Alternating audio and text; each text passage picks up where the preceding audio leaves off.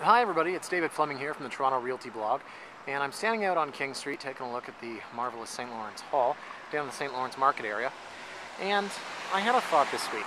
A client of mine, she told me that she didn't want to look at condos in the St. Lawrence Market area because she felt that it was dangerous and she told me just look at St. James Park. I would never walk through there at night.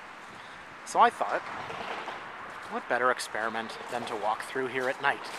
It's 11 o'clock on Sunday night and I want to know if it truly is the witching hour. Where are the crackheads? Where are the drug dealers? Where are the murderers? Because here I am, ready to take on all comers.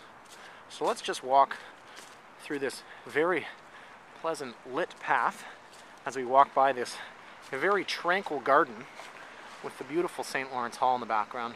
Look at that. And yes, I'm the only one in this park right now, so if trouble was to take place, I wouldn't exactly be able to count on anyone else to help me out.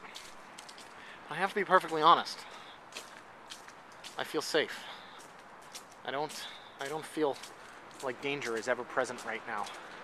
Oh my, there's a fully lit up gazebo. Maybe some crackheads and murderers are gonna entertain us with a little bit of Macbeth. So, let me just come over here and sit down on this bench in my jogging pants and sandals.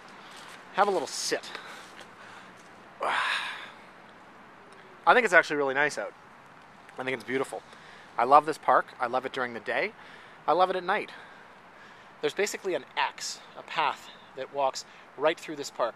You can see in the background there, that's View or View condos. No one knows really how to pronounce it. There's a gentleman walking his dog. I don't think that he's selling crack or looking to murder people. I think he's just out for a nice night. So here's the path that sort of runs north-south, okay?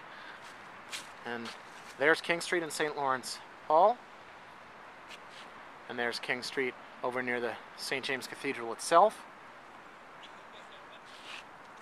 And there's Adelaide Street towards Spire. Okay, so you basically have an X as it crisscrosses through this park. And to be honest, I, I just don't see any trouble. Oh, wait, there's some. There's some. There's some. There's a crackhead. Yeah, okay. That guy is very, very sketchy looking. Okay, do you see him? He's looking for cigarette butts.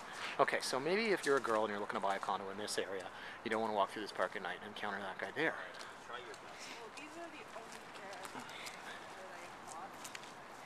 But they look like a really nice couple. In fact, maybe I could sell them a condo. But honestly, folks, if you're worried about this guy, don't be. I've seen that guy outside the Tim Hortons a hundred times. This is my neighborhood, okay? And I absolutely love it. There's another gentleman walking through. Here's another young couple coming to take a look at the garden and the water fountain. There's nothing wrong with walking through this park at night. I've said it before and I've said it again. This is a safe place. I wish my clients would listen to me, but ultimately they have to be happy with where they are and the decision that they make.